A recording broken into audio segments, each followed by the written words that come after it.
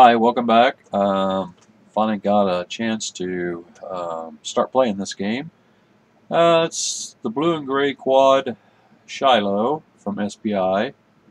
Um, I'm not going to use the oh the rules from Eylau, I guess it was, um, where units uh, lose strength point, you know, strength points and all that type of stuff.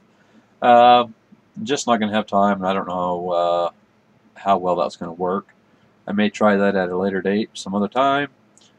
Right now, I'm going to just kind of go through the game. I'm going to play it, and I'm going to come back, oh, probably in between turns, beginning of the game turn, or in, you know, after one side moves or the, and has combat, or something like that. Just kind of, you know, give you an idea of the flow of the battle um, as it's represented in this game.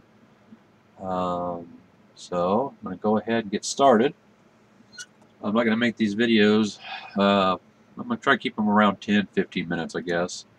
Uh, the one I did the other day, that was 30 minutes. It took like about seven hours to upload on YouTube. And, um, well, I'd like to keep them a little shorter than that.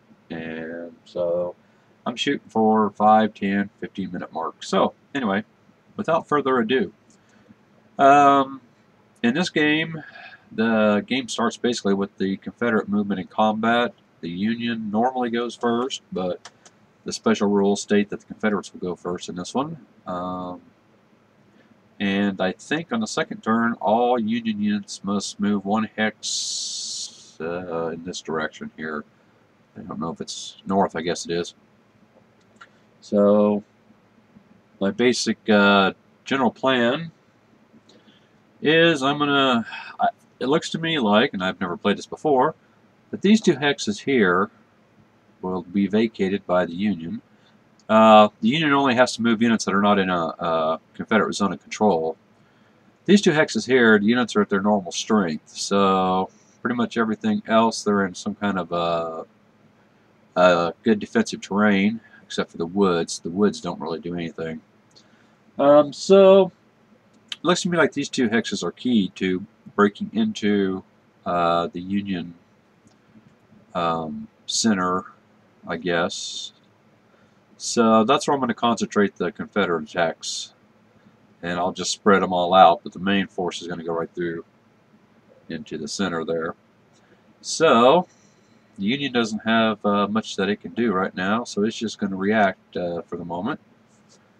And uh, I'll come back after the Confederate move.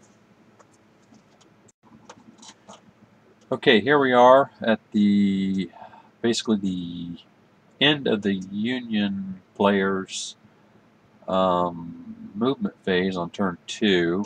I I may have misspoke on the uh, Union restrictions and stuff on turn one and everything. Basically, the Union doesn't even get a turn on turn one.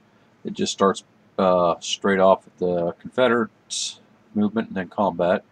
So then the beginning of turn two, all Union units have to move one hex to the north, which I have already done.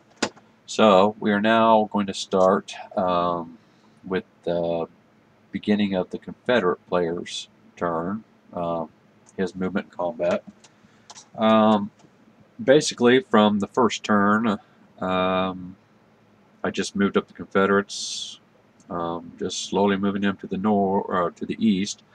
I know that uh, I didn't enter any Union zones of control because I knew they were going to have to move move uh, north, and I didn't want to pin anybody down, and um, just wanted them to keep on moving to the north uh, that one turn. And in these positions here, with six movement points on a road, I can pretty much cover any area I want uh, in the Union line. So this turn, will, I will see, or should see, the Confederates attack this gap and perhaps shore up the flanks and take this ground here. Um, basically, I think we're just going to see a push all the way through here and occupy this ground that the Union um, um, uh, left open for us. So I will come back probably at the end of the game turn 2 after the Confederate combat phase.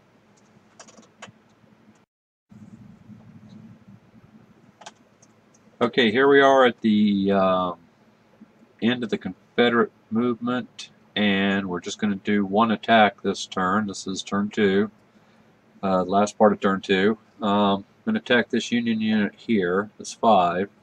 We're going to attack with uh, 15, and then I'm going to use the two artillery units there. That's a four and then a 1, that's another 5, so that's 20. 20 to 5 is going to be at 4 to 1. So, this, uh, I'm guaranteed not to get an attack or retreat, which uh, will make my units, uh, uh, whatever that attack or uh, effectiveness type rule is. So, we're going to go ahead and roll at 4 to 1. We roll a 2 at 4 to 1, which is very good. It forces the defender to retreat. So, I can't retreat up here because of the cavalry unit. I'm not going to allow cavalry and infantry stacking. So I guess he'll retreat just one hex back. Now the attacker can advance one unit. I think I will advance the 9. That'll pin all those units right there. Uh, they won't be able to move. Other units can move up uh, adjacent to them, however, but yeah, we'll see what happens. So anyway, that's the end of turn 2.